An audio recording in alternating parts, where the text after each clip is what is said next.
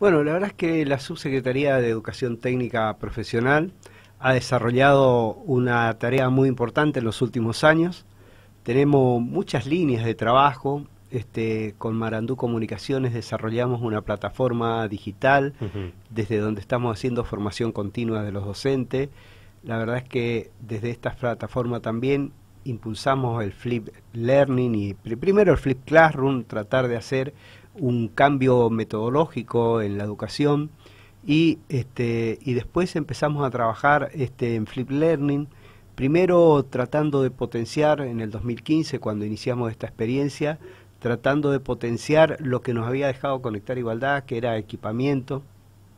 Y después nos dimos cuenta que los jóvenes todos tienen sus smartphones, sus celulares inteligentes, así que migramos un poco de la, de la computación este, a los celulares, hicimos un excelente trabajo para que los este, jóvenes puedan utilizar esa plataforma, está adaptada a, la, celulares y la verdad que fue un, este, un éxito muy importante, los docentes se apropiaron de esta herramienta y hoy la plataforma tiene este, importantes visitas en, su, en nuestra página y además eh, estamos dando formación continua y estamos logramos incluir las TICs en el aula.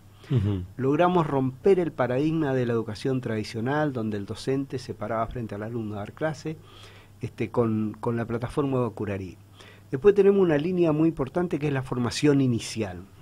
Los docentes de ETP en general de educación técnica eran eh, los de los talleres y los cargos de maestro de enseñanza práctica, eran idóneos, algunos eh, técnicos, y eh, nosotros le fuimos dando a través de los años, este es un programa que me antecede en la gestión, que es del 2009, le fuimos dando formación pedagógica.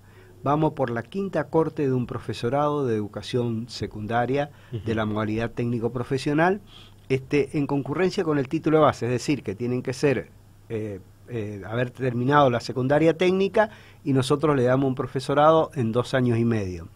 Tenemos a, esta, este año 600 egresados, es docentes de técnica que este, pudieron egresar en el profesorado. Y ayer hicimos el cierre en el centro de convenciones, en, este, en el Teatro de Prosa, hicimos el cierre del instructorado, que es para los docentes que trabajan en formación profesional. Allí tuvimos 130 egresados de tres este, sedes, Posadas, Alén y Esperanza, y eh, también formación pedagógica para quienes se desempeñan enseñando oficios. Y la verdad que también acá hemos tenido un, este, eh, realmente un éxito muy importante. Eh, éxito digo yo porque le damos la oportunidad al, este, a los que están trabajando en educación técnica de formarse, de acceder a una formación pedagógica, de poder este, ocupar y utilizar en sus clases nuevas herramientas, tener una visión pedagógica, construir desde la educación emocional que está atravesando también la educación técnica. Así que en el en la formación inicial hicimos instructorado y profesorado. Después tenemos una red este, que es una red nacional de aulas talleres móviles, de las cuales nosotros tenemos siete aulas móviles eh, con diferentes ofertas para formación profesional en oficio. ¿Cómo se divide la educación técnica? En tres niveles. Primero, la, formación de oficios a través de la formación profesional, luego la educación técnica secundaria, donde salen nuestros técnicos, maestros mayor de obra, electrónico, electromecánico, informáticos, este, eh, eh técnicos en administración, contable, es decir, tenemos una variada oferta de técnicos. Después las tecnicaturas superiores. Todo eso está bajo la órbita eh, de la subsecretaría en materia de este, formación. Así que ahí trabajamos también con, con, la, con la FP, con la educación secundaria y con la, este, con la educación técnica superior. Después eh, estamos en, la formación profesional con las aulas talleres móviles llevando eh, una variada oferta. por ejemplo, tenemos una formación de este, profesionales para el sector agropecuario, donde enseñamos apicultura, piscicultura y horticultura. Tenemos para profesionales de mecánica, los mecánicos que hay en los pueblos en general y en la provincia en general no tienen mucha formación. Es eh, más este, de aprendizaje Por ir mirando. Por ir viendo cómo se hacen. Y a veces cuando uno aprende viendo o imitando, no sabe los fundamentos de el por qué se realizan las acciones. Estos cursos le dan los fundamentos del por qué se realizan esas acciones, qué es la mecánica, cómo se desarrolla y damos en tres niveles también en electricidad al automotor, que hoy la electrónica está presente en todos los vehículos este, eh, actuales. Eh, le damos mecánica de moto. La verdad que este, la mecánica de moto eh, es bárbaro porque hace falta mecánico de moto, hay muchísimas motos en toda la provincia. Y damos, bueno, de este, mecánica del automotor, ¿no? Así que en la oferta de mecánica esa es un aula que anda muy bien en materia de construcción apoyamos a este, los trabajadores de la construcción dándole formación en instalaciones de gas, instalaciones eléctricas, instalaciones sanitarias, así que también ahí tenemos un aula móvil destinada. Después tenemos un aula móvil que está vinculada a las energías renovables, que lamentablemente hace poco en el soberbio se nos siniestró, se incendió pero este bueno ya está en Mar del Plata en reparación como para este volver a, ponerla en funcionamiento. Y ahí estamos este, desarrollando proyectos de energía renovable tanto energía solar como energía eólica este y queremos incorporar biomasa que es la otra energía que se usa mucho en misiones como energía renovable tenemos una de gastronomía que es eh, nuestra estrella porque eh, cada vez que abrimos el aula de gastronomía tenemos muchísimos, muchísimas inscripciones, tanto de emprendedoras como de gente que trabaja en el sector gastronómico, este, sean restaurantes, bares, este, eh, confiterías y, eh, y, amas de casa, ¿eh? que quieren mejorar la cocina de su hogar y que encuentran en estas aulas una instancia de formación muy buena. Así que en la de gastronomía, hoy este, estuvimos con la de gastronomía en San Ignacio haciendo un cierre. Y lo, importante es que a veces arrancamos a las 7 de la mañana en las aulas y terminamos a las 11 de la noche. Porque nuestros instructores, que son varios, en este caso de gastronomía tenemos seis trabajando, se van adecuando a las necesidades que tiene la gente, como para poder formarlos. Este, así que eh, esas este, son un poco, tenemos una de refrigeración, con la que trabajamos muy bien con el turismo. O sea, para el turismo nosotros estamos ofreciendo varias ofertas, tanto de la de agropecuaria, como la de gastronomía, como la de refrigeración, porque ayuda a mejorar el servicio. En hotelería es fundamental que los aires funcionen. Claro. Si no hay buenos técnicos que reparen esos, esos aires, este, los aires no funcionan bien. Así que tenemos para cámaras de frío eh, eh, formación y para aires acondicionados. Y lo, lo, lo, más importante es que en poco tiempo nosotros formamos más de 2.600 profesionales en formación profesional. ¿Cómo es, el, ¿Cómo es la formación? Arrancamos con un curso, vamos a un pueblo, trabajamos con el gobierno local, con el intendente. Ese sería el taller móvil, ¿no? Ese son, son aulas talleres móviles, son transportables, son camiones, se van moviendo, se van son camiones grandes de 15 por 5 que tienen un ala expandible, entonces se expanden, se constituye un aula este, de, 15 por 5 y este, ahí trabajan los estudiantes. ¿Y cuánto tiempo quedan en un lugar para, para hacer la formación? Y nosotros queremos cumplir como mínimo 120 horas de eh, formación y eso nos da aproximadamente cuatro meses en cada lugar donde estamos. Estamos entre cuatro y cinco meses en cada lugar, así que estamos haciendo una, este, dos visitas al año.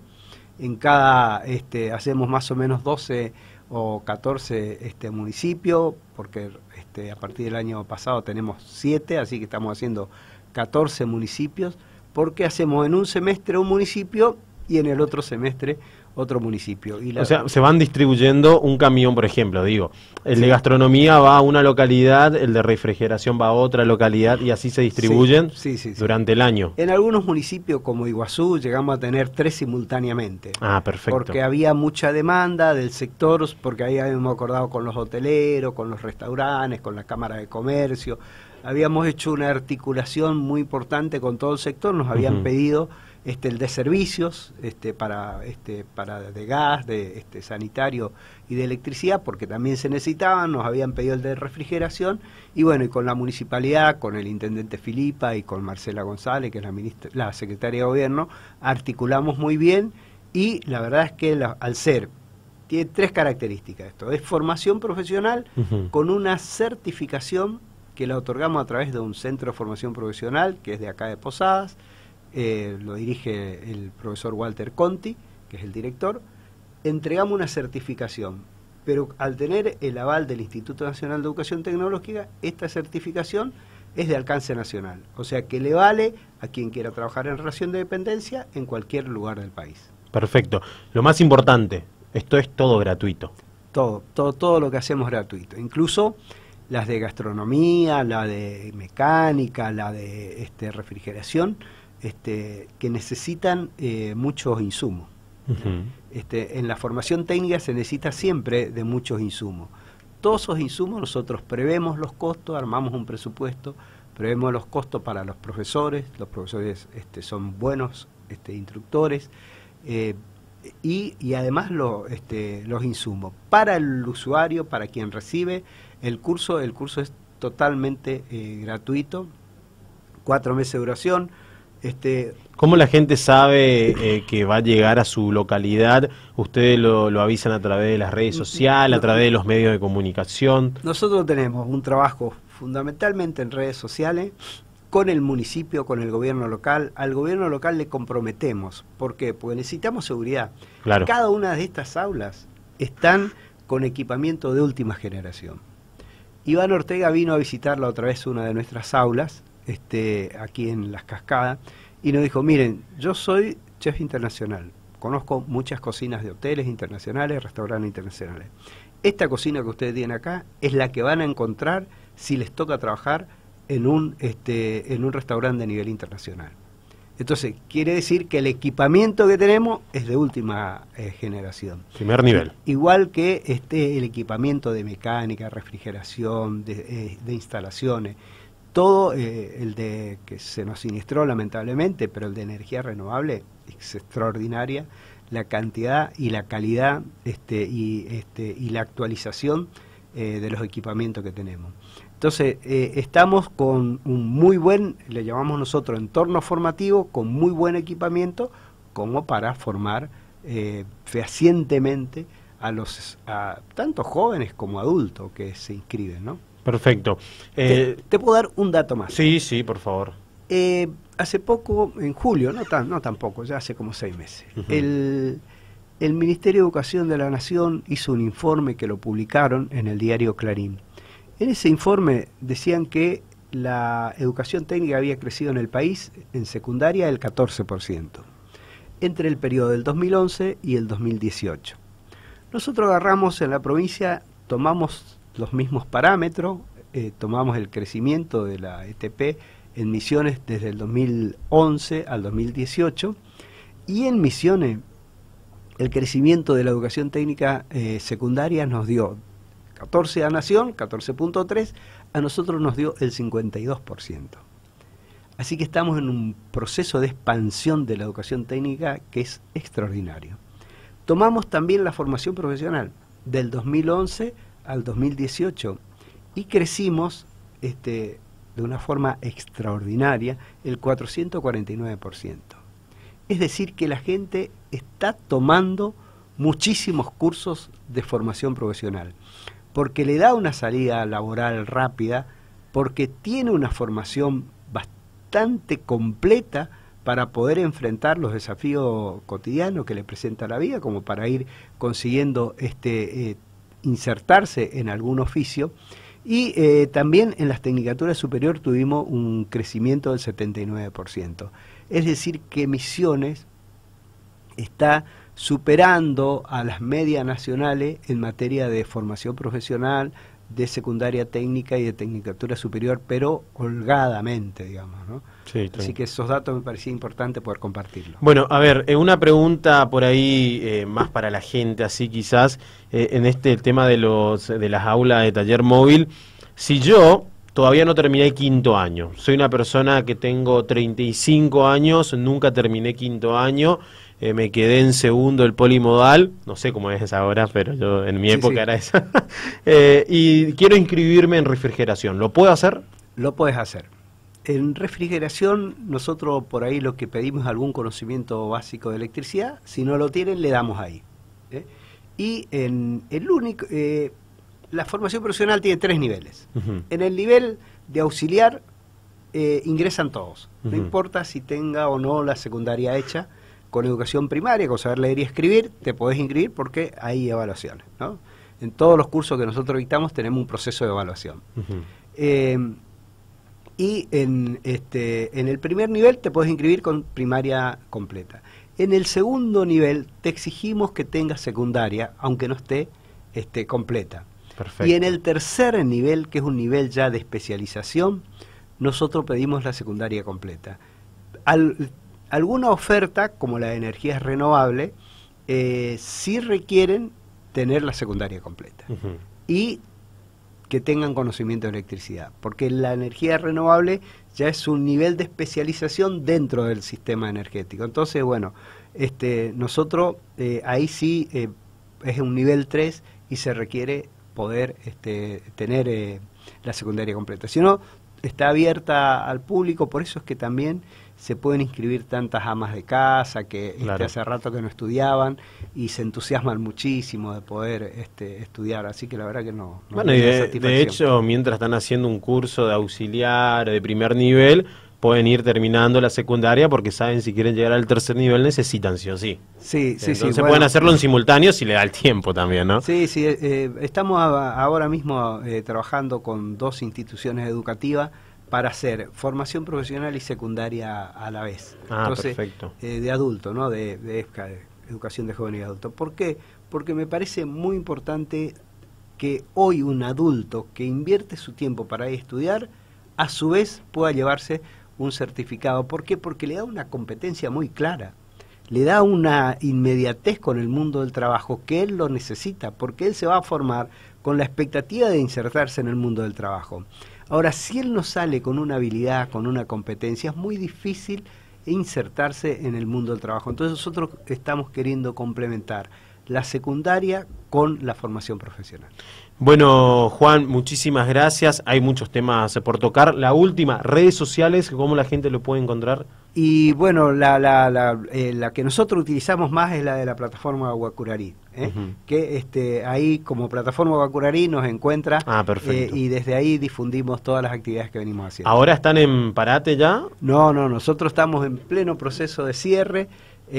tal es así que, bueno, este, nosotros acompañamos al gobernador Pasalacua y este, terminamos el 10 de diciembre, pero los cierres de la ATM por cuestiones pedagógicas no lo podemos hacer antes del 10, así que este, seguimos, este, si hay recambio de autoridades, bueno, se cambian las autoridades, pero la, este, la formación no se para, claro. este, se sigue y estamos casi cerrando todas las actividades el 20 de, de diciembre, así que hasta el 20 de diciembre tenemos una agenda de cierre, primero fue el profesorado, ayer cerramos el instructorado, la semana pasada estuvimos una semana con Olimpiadas Nacionales, que las organizamos nosotros aquí, unas Olimpiadas Nacionales con 500 estudiantes de todo el país que vinieron a participar de una Olimpiada de Química, de eh, Procesos y Alimentos y otra de Agropecuaria, que estuvimos en Puerto Rico con la de Química y en Ruiz de Montoya con la de Agropecuario, que la verdad que fue fantástica con 500 estudiantes que vienen a hacer una evaluación de sus aprendizajes, son estudiantes de sexto año que terminan este año la secundaria técnica y que a su vez pudieron este, participar de unas Olimpiadas Nacionales.